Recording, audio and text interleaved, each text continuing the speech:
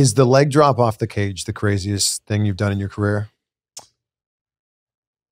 Um, I don't know. It's it's uh, may, I mean maybe it, it, it definitely it definitely ranks up there. I mean even WrestleMania 25 when Jeff and I wanted to try that idea about the he put me in between the tables. He put me on a table and then there was another table on top of me and I had a chair over me to like uh, protect my inner organs so that table didn't like pierce me.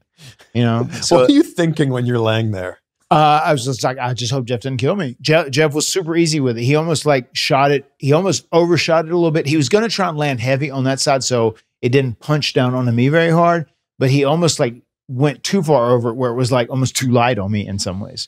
But yeah, I, I was just like, well, this this could be it. you know, like this this could be it. It's almost like I mean, I felt like I was a vampire. He was ready to stake me, right? He could have drove drove that table through my heart and ended me right there.